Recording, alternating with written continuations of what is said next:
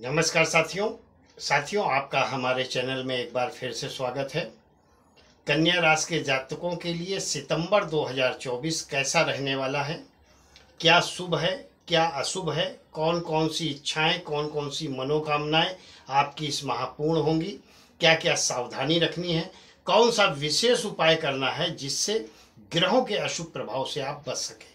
सारी बातें इसी वीडियो में बताएँगे। तो निवेदन है, विनंती है, यदि अभी तक आपने हमारा चैनल सब्सक्राइब नहीं किया है तो चैनल को ज़रूर सब्सक्राइब करें, वीडियो को शेयर करें ज़्यादा से ज़्यादा, और अगर आप अपनी कुंडली का विश्लेषण मुझसे कराना चाहते हैं तो डिस्क्रिप्शन बॉक्स में नंबर दिया है, स्क्रीन पर भी नंबर है, आप मुझे संपर्क कर सकते हैं व्हाट्सअप कर सकते हैं, कॉल कर सकते हैं, कुंडली विश्लेषण का क्या प्रोसीजर है, आपको वहाँ पर बता दिया जाएगा। साथियों, सबसे पहले बात करते हैं सितंबर माह में कौन कौन से ग्रह कन्या राशि वालों के लिए राशि परिवर्तन करने वाले हैं। तो राशि का जो स्वामी है, कन्या राशि का स्वामी बुद्ध है। और बुद्ध चूँकि ग्रहों का राजकुमार है, इसलिए सितंबर का माह आपके लिए राजकुमार जैसी शान शौकत से भरा रहेगा। चार सितंबर को ग्रहों के राजकुमार बुद्ध सिंह राशि में प्रवेश कर रहे हैं। बुद्ध का सिंह राशि में प्रवेश करने का ही मतलब है कि बारहवें भाव में व्यय करेंगे। अब बारहवें भाव में व्यय स्थान पर विराजमान होंगे, ऐसी स्थितियों में कहीं पर नोट कर लें। अगर आप फॉरेन कंट्री में हैं, या आपका जुड़ा हुआ कोई व्यवसाय है, विदेश से सप्लाई का हो एक्सपोर्ट इंपोर्ट का हो, या फिर आप बहुत दिनों से सोच रहे हैं कि मुझे विदेश जाना है तो ये आपकी मनोकामना पूर्ण होने का योग सितंबर माह में बना हुआ है। जो भी लोग विदेश यात्रा की इच्छा अभी तक लिए थे वो इच्छाएँ उनकी पूर्ण होंगी। विदेशों में रहकर जो लोग व्यापार कर रहे हैं, नौकरी कर रहे हैं, उन्हें वहाँ पर यश प्राप्त होगा, सफलताएँ प्राप्त होंगी। सबसे बड़ी चीज़ यह है कि यह जो योग है, चार सितंबर से लेकर सोलह सितंबर तक बना हुआ है। चार सितंबर से सोलह सितंबर के बीच में क्या करना है और क्या नहीं करना है, इस बात को विशेष ध्यान रखें। सबसे बड़ी चीज़ यह है कि आप चार सितंबर से सोलह सितंबर तक सूर्य को अर्ध ज़रूर दें, यानी कि जल अर्पण ज़रूर करें। इससे जो है आपके जो बिगड़े काम हैं, वो बनना शुरू हो जाएँगे और जो कार्य आप करना चाहते हैं, उसमें आपको सफलताएँ प्राप्त होने लगेंगी। 16 सितंबर को सूर्य देव कन्या राशि में प्रवेश करेंगे। और सूर्य देव जब कन्या राशि में प्रवेश करेंगे तो आपके लग्न भाव पर विराजमान होंगे कन्या राशि में। सूर्य का वैसे कन्या राशि में प्रवेश करना, वैसे तो कोई बड़ी हानि नहीं दिखाता है, लेकिन ध्यान रखें, होम करते, हाथ जलते कभी कभी आप भलाई करने का सोचेंगे, लेकिन नुकसान उठा जाएँगे। इसलिए जो आपकी आदत है, भला करने की, भले ही आपके साथ कितना बुरा हो जाए तो ऐसा बिल्कुल मत करें। मदद करने से बचें। क्योंकि अभी आपको खुद मदद की ज़रूरत है। आप किसी की हेल्प करेंगे, मदद करेंगे, जो कुछ आपके पास है वो भी चला जाएगा। इसलिए हेल्प उतनी करें कि आप एक दिन खुद हेल्प यानी मदद के काबिल ना हो जाए। ऐसी मदद ना करें कि आप मदद के खुद काबिल हो जाएँ।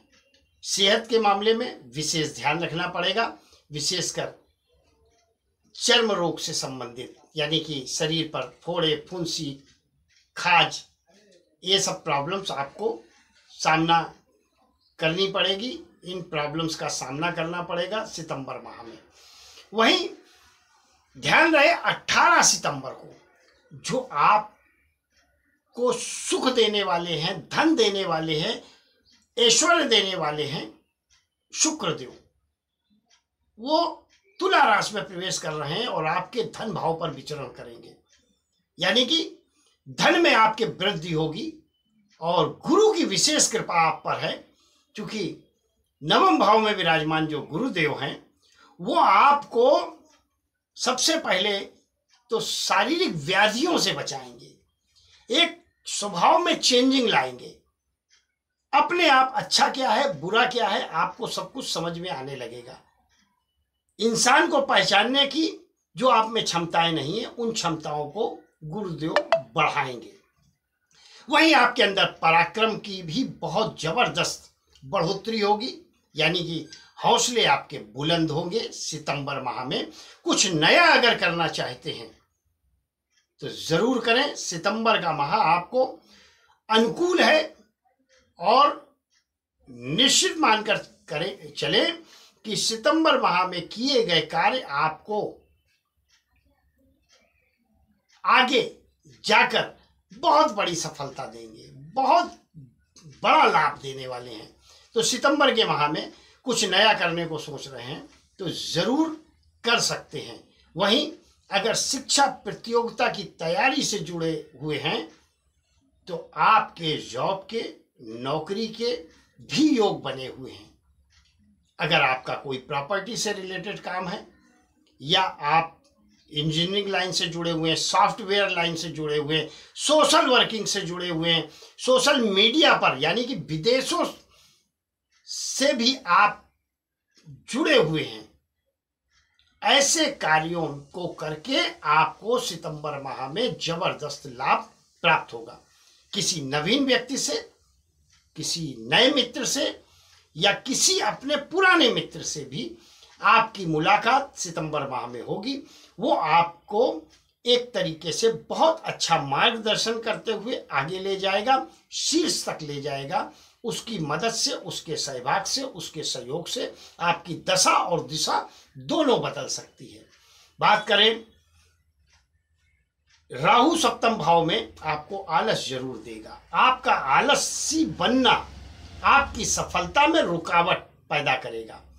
आलस को अगर त्याग देंगे सितंबर माह में तो आपको सफल होने से कोई भी रोक नहीं पाएगा, कहीं पर आप नोट कर लें।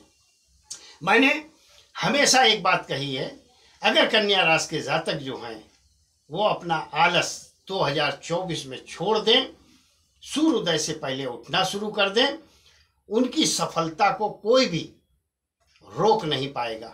किसी ग्रह के अशुभ प्रभाव में नहीं आएँगे। शर्त यह है, सूर्योदय से पहले उठें और आलस को बिल्कुल छोड़ें। आपके लिए आलस ही खतरनाक है, क्योंकि आपका 2024 सभी ग्रह आपके पक्ष में हैं।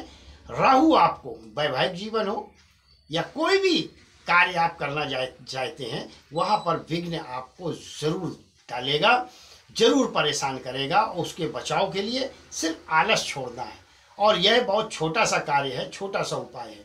और अगर कन्या रास है तो मैंने हर बार बोला है, हर वीडियो में बोला है, इस वीडियो में भी बोलूँगा कि चार मुखी रुद्राक्ष ज़रूर धारण करें। अगर कन्या रास के जातक अपने जीवन में सफलता प्राप्त करना चाहते हैं तो चार मुखी रुद्राक्ष हृदय तक धारण करें।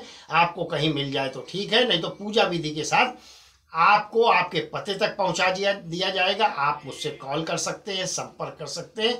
कुंडली का अगर विश्लेषण कराना चाहते हैं कुछ जानना चाहते हैं तो भी आप मुझे व्हाट्सअप कर सकते हैं कॉल कर सकते हैं। कुंडली प्रोसीजर का क्या कुंडली विश्लेषण का क्या प्रोसीजर है आपको वहाँ पर बता दिया जाएगा।